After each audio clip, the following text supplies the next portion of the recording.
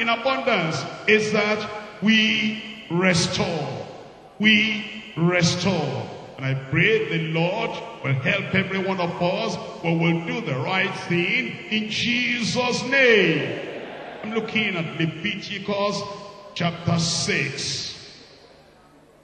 Leviticus chapter 6. You cannot say you, you reconcile if you have stolen something belonging to another person and you refuse to restore that. You refuse to make the restitution. Restoration includes restitution. That's what God told Abimelech in Leviticus chapter 6. I'm reading from verse 1. Leviticus chapter 6 verse 1.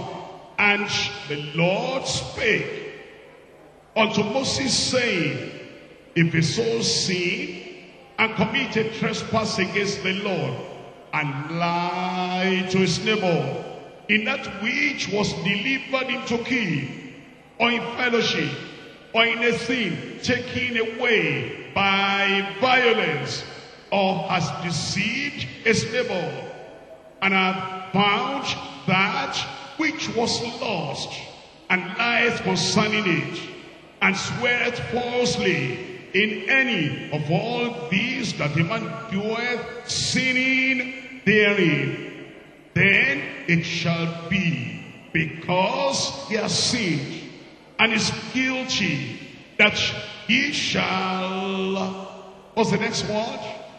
Restore you see, that's the word of God. Uniform word of God everywhere. To reconcile with our neighbor whom we have offended. And we're taking something away from that neighbor.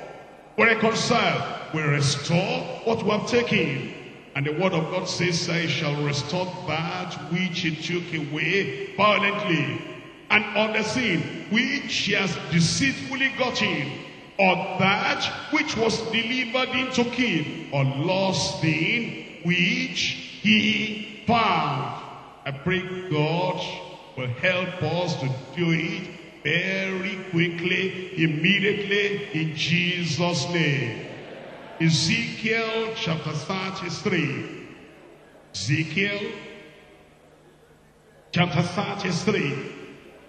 I'm reading from verse 14. Ezekiel 33, reading from verse 14. Again, when I say to the wicked, thou shalt surely die. And you know, sometimes when God speaks emphatically, we say peremptorily, that he says, thou shalt surely die. There's some people that say, okay, God said I will die. And he used the word surely. What can I do? I will die. No, you don't have to die. You will not die. I said you will not die.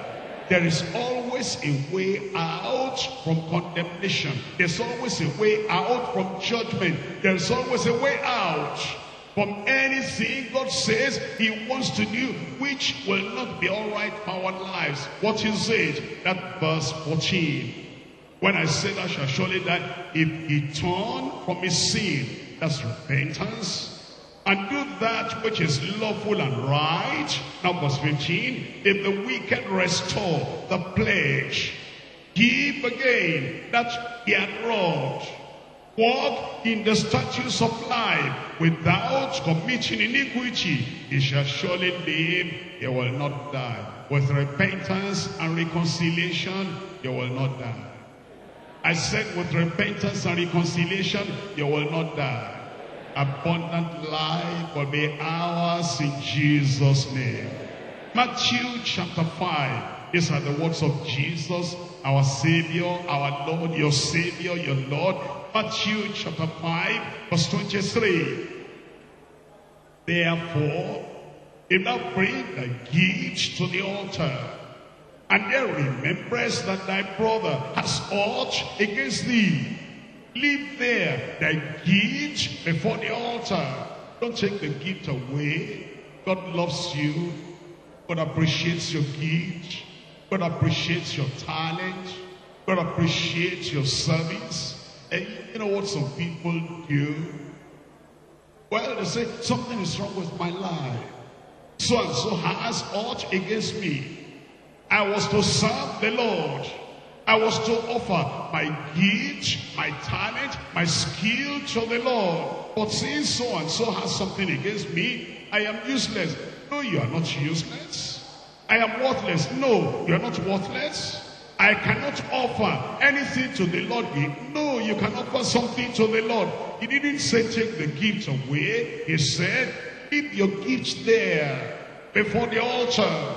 You say, Lord, I consecrate my life to you. This is wrong. I'm going to put it right. I'm feeling unhappy about this relationship between me and brother so-and-so, between me and sister so-and-so. I'm going to put it right. I'm going to reconcile. It doesn't mean you'll never serve the Lord again, that your gifts are no more welcome in the sight of the Lord. Of course, they're welcome. Leave there thy gift before the altar and go thy way. First, do what? I said, do what? Be reconciled to thy brother. And then, after that word, then come, offer thy gift. Why is it? Even some people have reconciled. You've settled everything. Now your way is clear before God and man, between God and you, between you and God, and between you and your fellow brother, your fellow sister, and everybody else. And you know by the grace of God, there's no condemnation in your heart anymore. And yet you're still pulling back because of that thing that happened to you how many years ago now the Lord said your gift is still before the altar come back and offer that gift and the Lord will bless you in Jesus name Number one is repentance. Number two is reconciliation. Number three is righteousness. Righteousness through the Savior. Righteousness belongs to us. We shall enjoy it in Jesus' name. Through Christ, we have righteousness. Through the sacrifice of Christ, we have righteousness. And through the atonement of the Lord Jesus Christ on the cross of Calvary, He has set us free. We are free indeed in Jesus' name. In Romans chapter 6, Romans chapter 6, verse 18. Being then made free from sin, he became the servants of righteousness. We are not the slaves of sin anymore. We are now the servants of righteousness. Christ has made us righteous. Christ has brought his righteousness into our lives. Romans chapter 5 verse 19.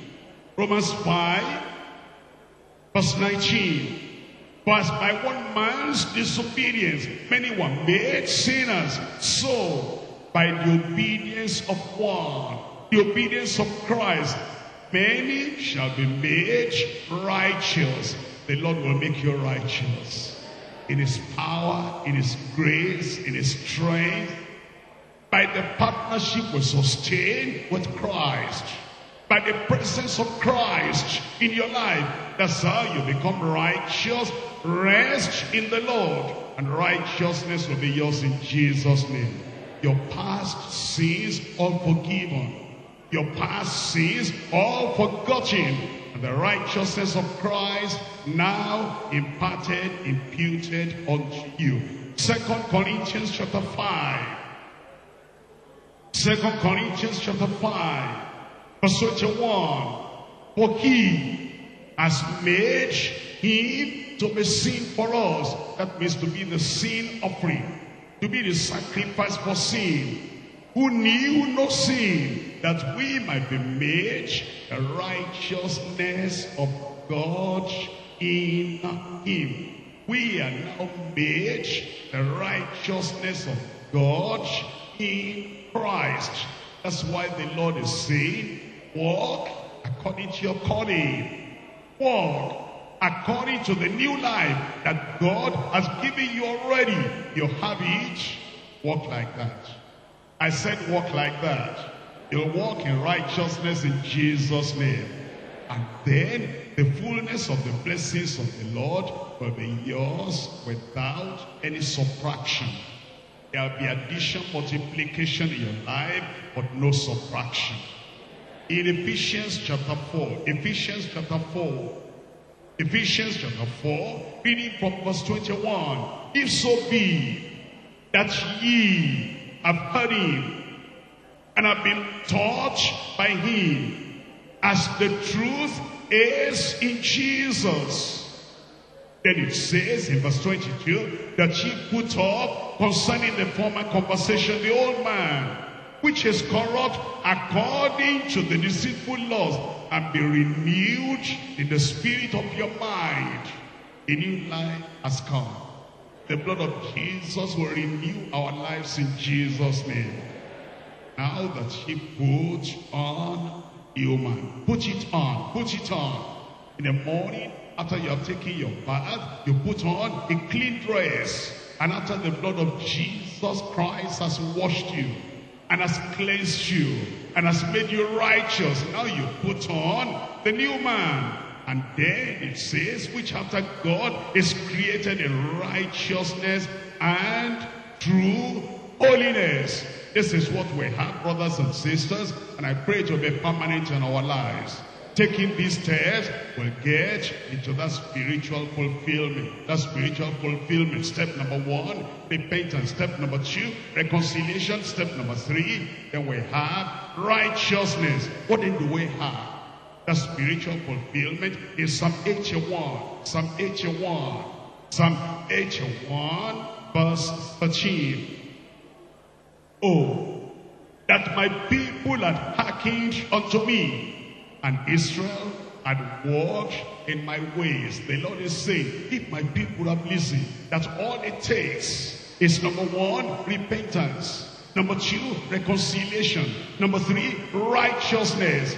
Then the wonderful resource will follow. Verse 14, I should soon have subdued their enemies. Taking those steps between you and the Almighty God, all enemies are subdued before you in Jesus' name and turned my hands against their adversaries. The haters of the Lord should have submitted themselves unto him. But their time should have endured forever. Your time will endure forever. He should have fed them also for the finest of the wheat. Taking those steps. Repentance, reconciliation, righteousness, God is giving us assurance that He will feed us with the finest of the wheat and then with honey out of the rock shall I have satisfied them. Water out of the rock, more than that. Milk out of the rock, more than that. Honey out of the rock, you will have. Sweetness will come to your life. Satisfaction will come to your life. Joy will come to your life. We're ready to take those steps. Are we ready? I said we're ready. How many of you are ready? Why don't you stand up and say, Lord, I thank you. You promised abundance for me, spiritual fulfillment for me. Now I'm going to enjoy everything that you have promised me because you have shown me the steps that I need to take, indispensable steps that I need to take so that I can get into that spiritual fulfillment. Open your mouth, my brothers and sisters, and talk to the Lord. Repentance, check up your eye. Don't allow the devil to cheat you out of the spiritual fulfillment are to have and turn away and cast away everything that God does not appreciate in our lives repentance of all sins. And if you are just coming to this place for the first time, and you have seen other people coming to know the Lord, and you have not surrendered yourself unto the Lord, surrender yourself to the Lord. That's repentance. That's repentance. Turning away from everything that is sinful. Just between you and God there right now, you say, Lord, I thank you that you have conditioned my mind, my heart, to turn towards you so that blessing will be mine. Blessing will be mine. And the blessings are coming to you right now. Just say, Lord, I'm sorry for the past. That's all. That's all. God is not expecting to roll on the ground and feel that I'm a miserable, wretched, dirty, condemned person. The Lord knows that already. Just say, Lord, I'm sorry. I cast away all my iniquity, all my sin. And Lord, I turn to you now. And I accept the sacrifice of Jesus on the cross of Calvary. I accept, I accept what Christ did for me on the cross of Calvary. Then the Lord says, you are forgiven. Then say, thank you, Lord, thank you, Lord, thank you, Lord. And because the Lord has reconciled you to himself, take that joy to your neighbors, to your friends, your brothers and sisters, and reconcile with them. Break down every wall of partition between you and your fellow brother, your fellow sister, and your neighbors. Reconcile. Be friendly now, be friendly now, be loving now. And everything that have been negative in your thoughts, in your attitude to your brother, to your sister, to your neighbor, cancel that and be reconciled. And then accept the righteousness of Christ. It is yours. Jesus was righteous through and through. And he wants to give you his righteousness as a gift. And say, Lord, I accept. Lord, I receive. The righteousness of Christ, I'm going to walk in righteousness for the rest of my life. It's all by grace, by the help of God. And it is yours, it is mine, it is ours in Jesus' name. And the people of God said, if you have taken those steps and you want spiritual renewal in your life, refreshing in your life, abundance in your life, everybody, are you waiting for that? Are you waiting for renewal? Are you waiting for abundance?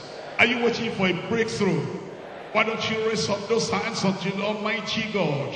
While you're raising up your hand, you are touching the Almighty God. And you are touching the miracle power of the Lord. And you are touching that refreshing. It will come in your life in Jesus' name. Remember, my brothers and sisters, that God discriminates against no one. There's no discrimination. There's no discrimination. All of us are blessed. I said all of us are blessed. Just take those steps and you're through. Repent, reconcile, be righteous, and the blessings of God will flow into your life. Father, in the name of Jesus, I thank you for my brothers and sisters. I thank you for everyone here. I pray, oh Lord, your blessings will flow down into the life of everyone in Jesus.